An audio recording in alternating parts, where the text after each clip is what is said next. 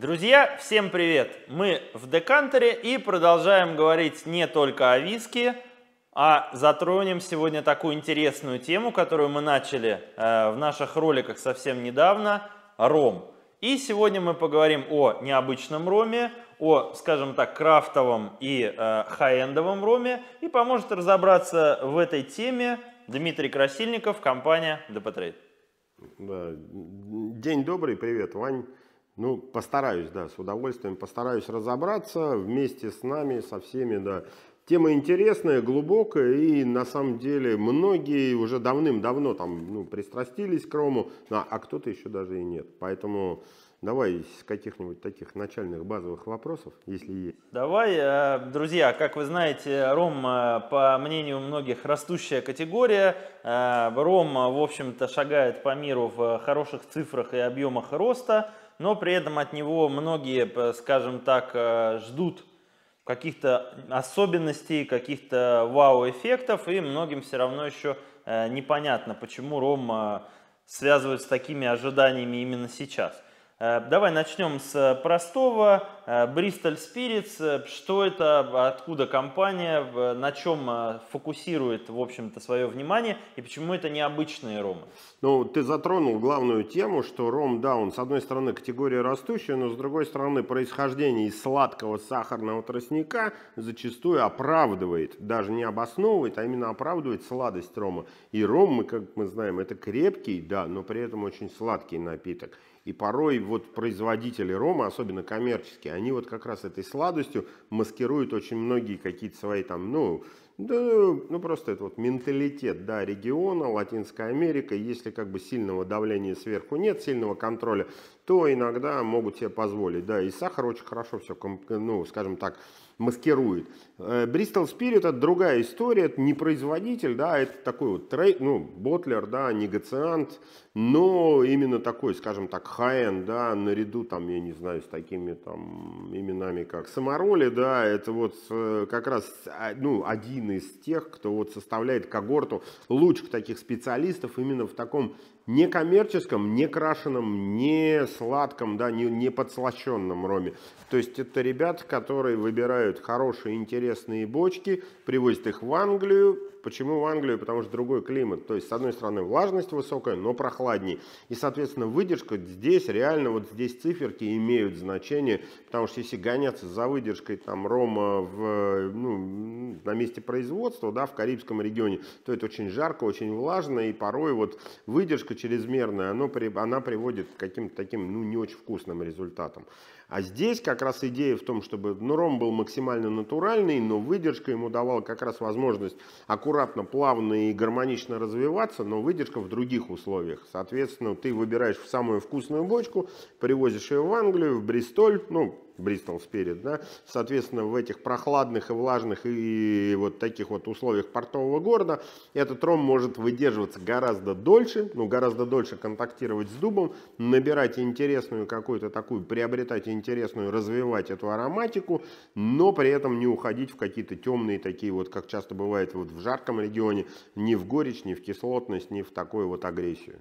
Э, тогда я не могу не спросить, я часто задаю этот вопрос э, людям, которые рассказывают про ром. Важна ли для рома выдержка, э, временное нахождение в бочке или в целом, в общем и целом, это, ну, скажем так, такое видение производителя, который может этим возрастом сглаживать углы, придавать объема, делать более заточенным вкус и какие-то нюансы, но в целом как бы ром категория, э, которая не требует длительной выдержки. Ну, и тут, и там есть правда, да, своего рода, потому что, да, белый ром бланка, иногда он звучит гениально вкусно, особенно в версиях там агриколь, каких-нибудь таких, когда из сока вот чистого там дистиллируют, то есть ему не нужна выдержка для того, что вот, ну, то есть он сохраняет как раз ту искреннюю свежесть сахарного тростника, это хорошо звучит и в коктейлях, и отдельно, и так далее. Но, когда это там когда добавляется правильная, продуманная, аккуратная выдержка, а не какая-нибудь так просто, вот чтобы там мы все бочки залили,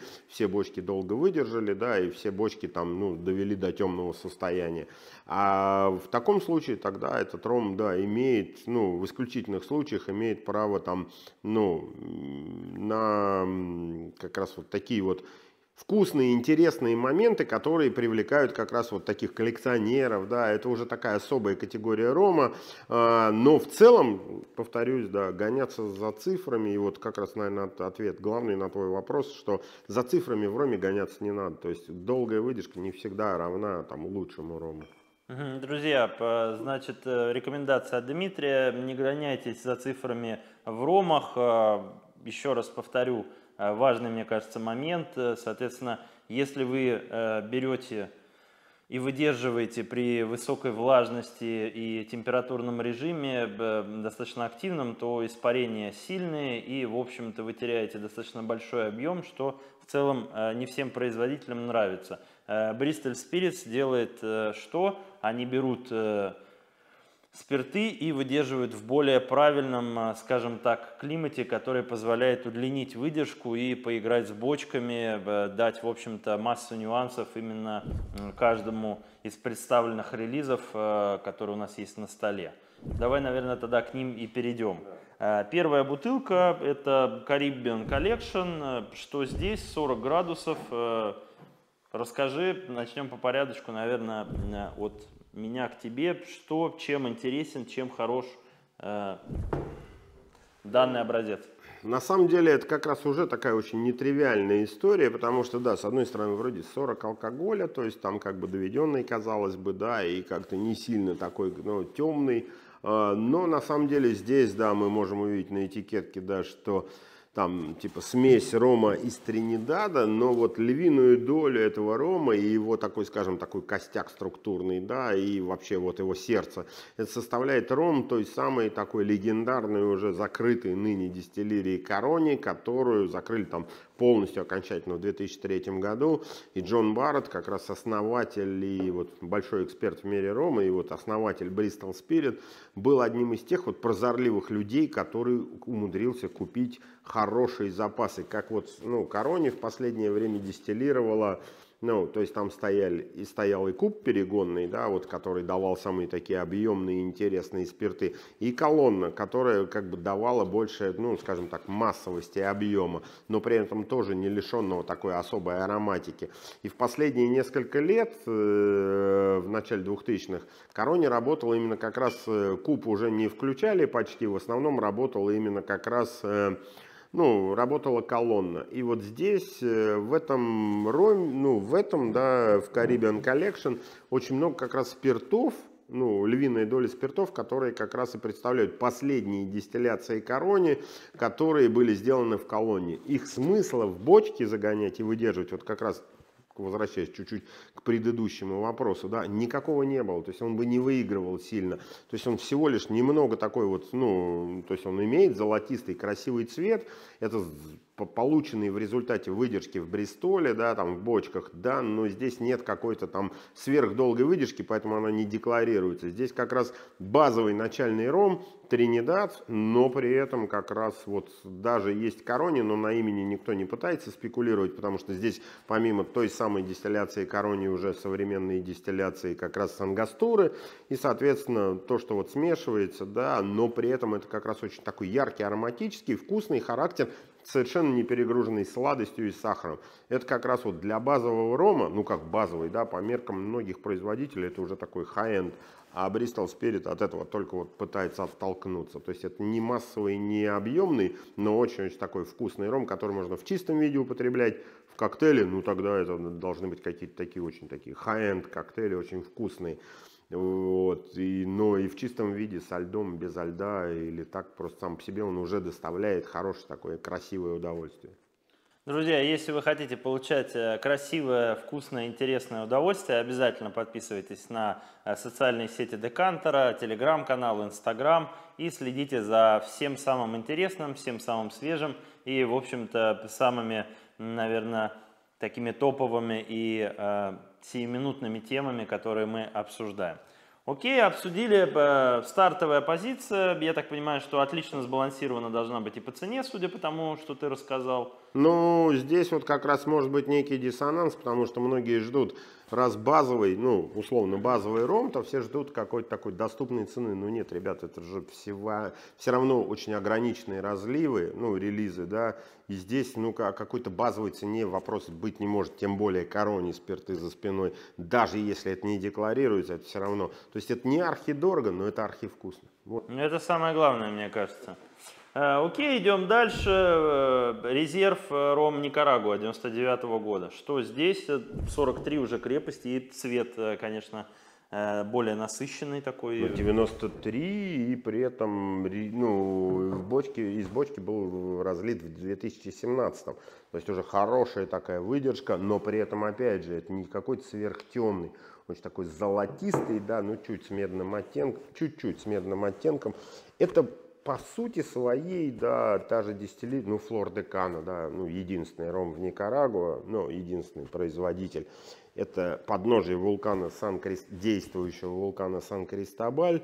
Тростник растет как раз под ним, на этих вулканических почвах. И вот сейчас много говорят в мире вина про вулканические вина, но, блин, никто не говорит про вулканические ромы. Вот это это вот просто, если хочешь попробовать, вот именно это теруарный ром. И здесь вот этот вулканический подтекст, он чувствуется. Выдержка аккуратная, деликатная, без всяких спекуляций. То есть никто не пытается его докрасить. Да? Он тонкий, изящный. И вот как раз здесь вот момент такой, что для тех, кому ром кажется очень сладким, вот это, это больше тонкая история, штучная такая, прям архи, ну где-то, наверное, отклик найдет у тех, кто больше там белые бургундские вина любит. Вот это для них. Угу, отличное описание. Белая Бургундия, как мы знаем, а, по нашим роликам а, сейчас пользуется большой популярностью и спросом. С ней э, есть, в общем-то, некие проблемы, но мы потому понимаем, что ее нет. Да, потому что ее нет. Поэтому а, ром, которого тоже производится крайне мало, с э, декларируемой, в общем-то, э, выдержкой, вулканы и теруарная особенность, тем более близкая любителям белой Бургундии, очень интересно, стоит попробовать. Это очень ограниченный релиз, это там сколько, пару бочек максимум. То есть любые ромы Bristol Spirit дальше, кроме начального, это всегда вот ну, небольшой объем, и в этом как раз и суть. Это вот арт такой вот подбора, да, ты, конечно, не сам дистиллируешь, но каждый раз ты пытаешься выбрать самое лучшее, довести этого до самого там пикового момента и только потом уже предложить. То есть философия очень простая, с одной стороны, выразить ее просто, но вот довести до вот до Друзья, этого. если вы коллекционируете ромы, то обратите внимание И на... даже если вы не только ромы коллекционируете. Даже не только ромы, обратите внимание на, в общем-то, небольшие количества производимых Бристоль Спиритс ромах таких крафтовых и, как мы узнали, теруарных. Окей, идем дальше. Файн Куба Ром. И для меня, как для любителя виски, э, здесь есть э, отличная надпись, что финишировано в бочках из-под шерри. Что здесь, э, мне уже интересно. Ну, сам флажок, да, кубинский на этикетке, вообще как бы вот сама история кубинского, да, рома, да, вообще Бакарди оттуда начинался когда-то в свое время, ну, многие там такие вот серьезные имена, да, в общем, репутация кубинского рома выстроена давным-давно в досоциалистический период. Социалистический период, к сожалению, ну, как минимум, да, не будем там никого обижать, но с, как минимум не, по, не помог там, скажем, хорошему такому позитивному развитию. То есть сейчас кубинского рома достаточно много, потому что на него есть спрос. И, ну, ну, ладно, хорошо, я, я лучше это как промолчу. Есть хорошие образцы, вкусные, да, вообще вопросов нет, но найти какой-то исключительный кубинский ром – это архизадача, потому что очень, ну, ну, реально, социализм очень все усредненное. Каждый производитель, ну, в плане, в каждом там бренде когда он там заказывает, пытается там добиться до какого-то там особого результата, но тем не менее, все-таки это же, ну, ход истории не обманешь. Здесь же немножко другая история, это всего лишь там, ну, буквально там пара бочек, одна большая бочка, да, долгой хорошей выдержки, причем дистиллерия Десанкти Спиритус, это дистиллерия, которая сейчас там славится рекордными какими-то объемами там дистилляции, но львиная доля этих спиртов до сих пор поставляется государству в качестве там типа меди... ну, там, сырья для медицинского там спирта, да, и какую-то часть своей дистилляции они там посвящают рому. Вот выбрать какую-то лучшую больше, бочку, это архи-задача. Нужен свой человек,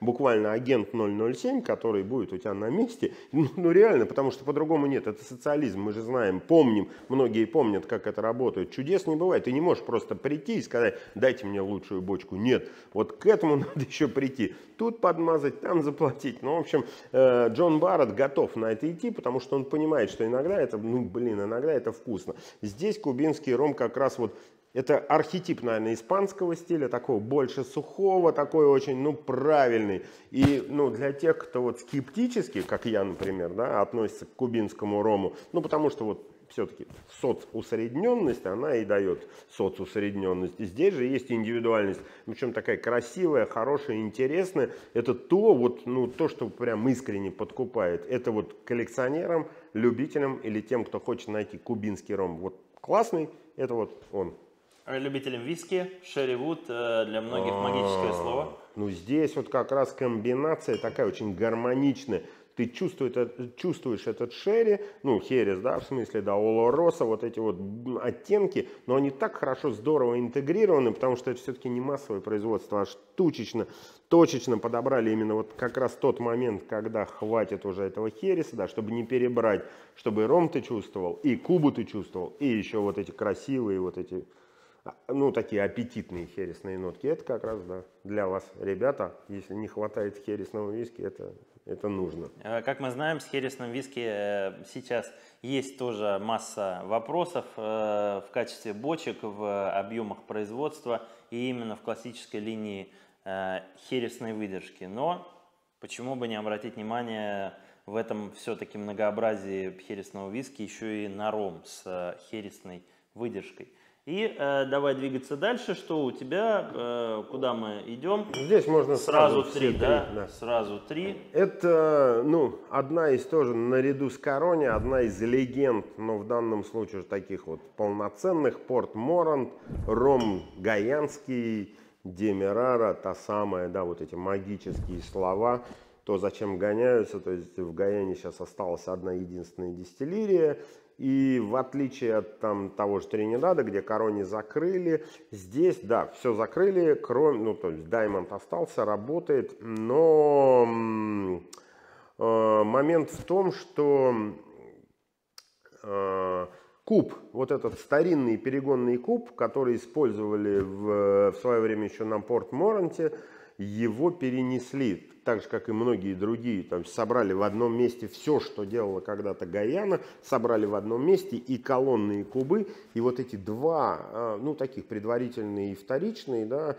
э, деревянные перегонные кубы, ну, реально деревянные, то есть у них стенки из толстого дерева, это местная какая-то латиноамериканская порода, к сожалению, имя ее не помню, э, но она такая, вот из нее делают там стойки для каких-то там вот этих морских пирсов и так далее, в Англии их можно где-то найти, она очень тяжелая, устойчивая к воде, ну, к влаге, да, но понятно, что это э, нагревать ее невозможно, поэтому низ там у этого куба, он ну, металлический, там медный, да, верх тоже, но вот эти стенки, да, вот толстые деревянные обеспечивают офигительную такую правильную теплоизоляцию, очень хорошую, поэтому он долго держит температуру, и в этом есть какая-то своя особенность, которая позволяет выходящему из, из него спирту быть таким очень насыщенным, маслянистым, густым и таким вот, ну, полнотелым. Это как раз Порт Морант. И иногда, ну, то есть Порт Морант закрыт, сама дистиллерия закрыта давно, но здесь мы видим, что есть у нас и там более свежие 2008 релизы, 99 и архи такой, ну, просто 25-летний, 90-го года дистилляции ром э, Спорт Моранта, то есть это как раз Э, дистилляции на этих самых деревянных кубах, но уже установленных в другом месте. Это вот как раз такой уникальный случай. Туда ради этого даже при возможности стоит съездить, чтобы посмотреть на вот эту вот архаику, которая до сих пор иногда работает. Если повезет увидеть в эти кубы в действии, это, конечно, впечатляет. Такое вот, ну это вот уникальная особенность, и она очень сильно влияет на характер. Но здесь, э, естественно, такие, ну, ну, это ром такой насыщенный, да, наверное, он в первую очередь, наверное, должен понравиться, и для коллекционера он должен быть очень интересным при таком скромном цвете первых двух образцов, вот 25-летний, здесь как раз долгая выдержка, э, она действительно, ну, этот, этот ром стоит особняком. Если первые два это вот, ну, типично, да, объемно, это вкусно, это вот, ну, напористо, да, но при этом напористо и очень мягко, то вот, вот этот образец, это, конечно, то, что вот если ты коллекционируешь какие-то исключительные образцы, там, виски, там, ну, коньяка, неважно, любых там спиртных напитков, вот это в твоей коллекции тоже такая бутылка должна быть. Это просто нектар, да, по сути, то есть это уже такой очень мягкий, расплавленный, когда ты делаешь глоток, даже не глоток, а вот на твоих рецепторах он просто растекается, расплавляется, ты даже не замечаешь, ты не чувствуешь каких-то таких вот резких алкогольных, ни в коем случае моментов, а просто чувствуешь такую вот ароматику, которая раскрывается и какими-то сложными эфирными, и сладкими, и специями, и фруктами, и сухофруктами. То есть ты вот сидишь под этим шлейфом, маленький глоток, и ты понимаешь, что вот, ну вот, вот ради этого стоило всем этим заниматься. А здесь, в более молодых версиях, может быть, конечно, не так это все сложно и эфирно, но тем не менее такие гурманские, очень вкусные, но не с фокусом на сладость, как часто бывает в роме коммерческом, а именно с фокусом на вот эту ароматическую палитру. То есть это то, что можно и нужно иметь, и это главное, да, Э, ну, помимо того, что это архивкусно, это еще и, скажем так, да, здесь скромная упаковка, ну, на самом деле очень скромная упаковка, но при этом вот эти цифры, да, это хороший подарок, это шикарный, я бы сказал, подарок, если тебе нужно кому-то что-то к юбилею подарить. То есть это гарантированно вкусная жидкость внутри, Э, да и не просто жидкость, а какая-то такая выдающая, выдающаяся, я бы сказал, жидкость, но при этом, э, ну да, ты заплатишь каких-то денег, но это гарантированный результат, ты точно попадешь ну, во вкусовые предпочтения своего визави, кому ты даришь. Друзья, э, мне кажется, очень интересная тема, мне кажется, очень правильный подход к продукту, такой э, действительно люксовый ром, high-end э, качества, high-end истории с возвратом, в общем-то, к тем истокам производства, которые были. Обращайте внимание на ром как на категорию, пишите нам сообщение, как вы думаете, ждет ли ром Э, успешное такое будущее прорыва или э, серьезная конкуренция с виски у нас. Ну и до новых встреч вам, всего хорошего. Пока.